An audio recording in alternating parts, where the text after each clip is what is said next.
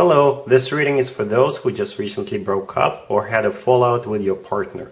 I'll do three spreads the situation spread, who you're dealing with, who left who, etc. The advice spread is it worth your time to reconcile with this ex? And the new love in the near future spread. Do you have anybody new coming towards you, hopefully better suited for you than your ex?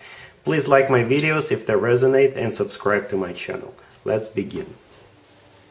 Hi Cancer, here's the situation. We have the Six of Swords, we have the Ace of Pentacles, we have the Nine of Swords, and the Devil on the bottom of the deck. You could be dealing with a Capricorn. So, um, the first thing I heard in my head when I saw the spread was the phrase, What have I done? And it could be you saying that phrase, or it could be your ex who left you for this other person. They could be saying, What have I done? Um, so we have the devil here. This is most likely that person you're dealing with could be a Capricorn, but most likely this is somebody who is very clever. This person is a manipulator. So they dangle this carrot in front of you or your ex that we see in the Ace of Pentacles. A very, very tempting offer. The Ace of Pentacles is usually a golden opportunity card, and uh, whoever they dangled it in front of, you or your ex, fell for it. Perhaps it sounded really good, too good to be true, and unfortunately it did turn out to be too good to be true. And with the Nine of Swords right there, the person who fell for it is saying, What have I done? I cannot really interpret this spread in any other way. So the Six of Swords, the first card on the left, this is either you or um, your ex falling for this trap. And uh, they're moving towards this Ace of Pentacles, which turned out to be a false Ace of Pentacles, false promises. Right, so yeah, that's what we have so far. Um, and this is the situation either you're in or your ex is in. They're really stressed out. They don't know what to do. They realize that they uh, were lied to. It really was too good to be true. And those were just empty promises. That's that's all there's to it. Alright, so that's what we have so far. Here's the advice for you, Cancer. We have Temperance, we have the Nine of Pentacles, we have the Six of Swords, and we have Justice. You could be dealing with a Sagittarius or a Libra. So this is a very straightforward um, spread, especially in terms of the advice. So the advice here is for you to heal with the Temperance card. Just uh, take some time off, take a break, do what you need to do, talk to your friends, people close to you, let them help you heal the situation, but mostly, most importantly, is learn your lesson. And it doesn't really matter how it actually all went down. If somebody left you or if you fell for someone's trap and it turned out to be nothing, it turned out to be empty promises. Just your, learn your lesson and with the temperance card, heal yourself and uh, move on. The Nine of Pentacles right there, this is a single person card. This is most likely you. Cancer, if uh, somebody left you, just you'll be good, you'll be fine. The Nine of Pentacles is a card of somebody who is better off by themselves, or this is a card of somebody who projects self-confidence. Uh, you could be independent, self-sufficient, you know, you could be admired by many. So you're still good, you're still okay. Don't worry about it. Don't worry about your um, don't worry about what other people are saying, right? So you'll still be fine. As long as you learn your lesson, as long as you um, heal yourself and move on with the Six of Swords. The Six of Swords in this spread is all about you moving on. This uh, rough patch will be over. It will be over soon.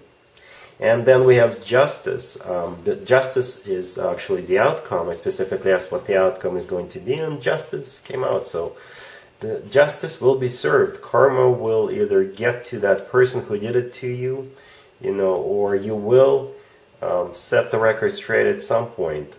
But as many people say, the best revenge on somebody is to be happy. Don't let this person break you. Don't let this person change your self-awareness and uh, just love yourself first. Karma will get to them. Trust me. It, karma always comes around. It is a boomerang. And karma comes in uh, different uh, ways. It doesn't have to be a punishment.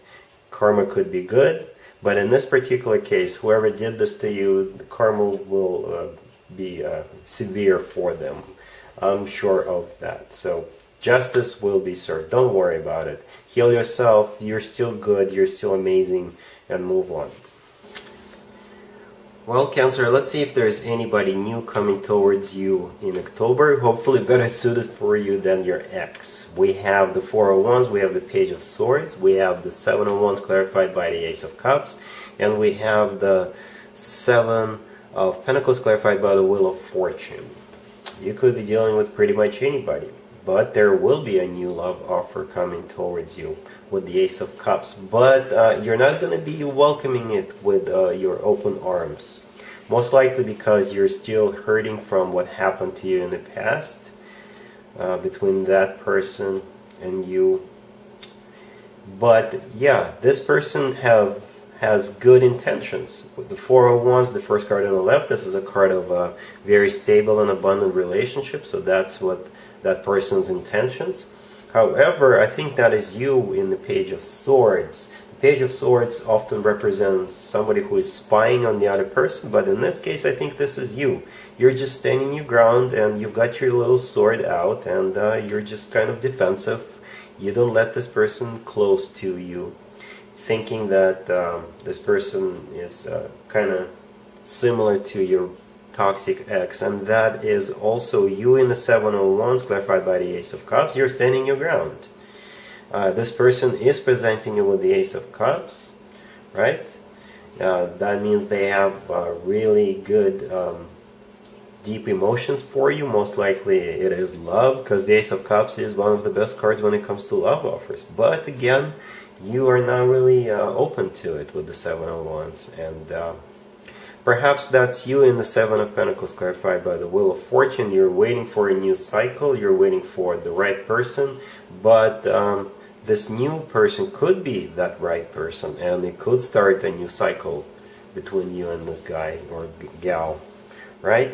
Or the Seven of Pentacles clarified by the Wheel of Fortune is that poor new person having to wait for you to heal, having to wait for an answer from you, or they're just waiting for something.